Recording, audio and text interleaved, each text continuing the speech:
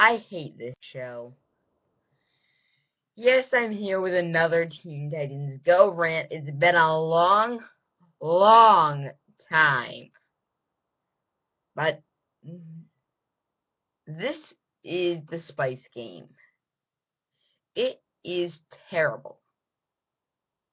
No, and just saying, if you are a casual viewer who dislikes this show, you will only find it okay. But for an internet reviewer, you have to take things one step beyond here.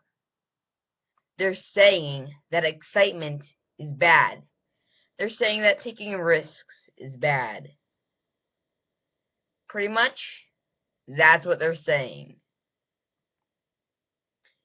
Here's the thing. At first they said that at least. This is a take that to formulate plot. Yes, the take that to that. They've sunken that low. They've said they said you might want to be bland, or if you're exciting, you're gonna get viewership. You're gonna get people who respect you. But once you get so high on the respect scale, you're gonna go all down. That's exactly what you're gonna do, children. After all, there is such thing as too much excitement. There is a thing such as um too good writing. There is such thing as not trying. That's what we do, children. That's what we support. No, seriously, this episode has. Let's put it this way Robin is a bad cook in this and he doesn't like a little bit of salt in it. He does bland potatoes for his dinners. Yeah, that's the kind of person they're putting him in. As. And I do hate the character. In fact, as I might have said before, there are two ways to know if this episode is going to get to that second tier of badness or not. And the key character to that is Raven if Raven acts smart in an episode, it has a chance. Okay? It really does usually. If Raven acts dumb in an episode, it's doomed. It is doomed. Smilebone slightly had this.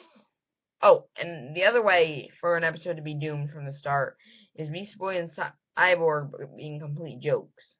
So episodes like Artful um, or if Raven's trying, or if the men are sexist towards the women. There are so many ways for this show to have a terrible episode. In fact, I might have to do a future thing about that. But what kind of horribleness is this? So, using the guide, we can say that since Raven's dumb in this episode, it's going to be a bad episode. Vegetables, an episode that I will rant on falls directly right flat into that category. That's how vegetables works. And this episode falls into that category as well. Now, to be honest, the normal plot of this episode is just bland. The comedy in this episode is non existent which few they've actually proven to be very funny at times. I mean, even for me, a disliker of the show, saying they can in some episodes be funny. Um, case in point, the episode video game references, where the Frogger segment with Beast Boy made me laugh hysterically. And it takes a lot for me to laugh at something. Modern Simpsons, I built up a Simpsons immunity. Yeah, that's me. Like, not just modern, but classic Simpsons episodes don't get a laugh out of me because I've seen all of them. And it's not just that that's the reasoning. It's because I can't, I know the humor that they use. So I built up Simpsons immunity. That's who I am. I might even be building Gravity Falls immunity. Based on how Stanchurian Candidate was very funny, yet it wasn't the most funny episode yet. Um, but let's get down to it. Th these rants are my longest for sure. Trust me, I'll do long rants on Teen Titans Go. How do I put this episode in a nutshell? Malicious. You know how Return of Slade and, well, the other one is. Oh, yeah, let's get serious. We're like this and poke fun at other programs that were better. I just hate the message this episode has. It must be the way I took it. But they're pretty much saying stay as bland as possible or you'll drive your viewers insane.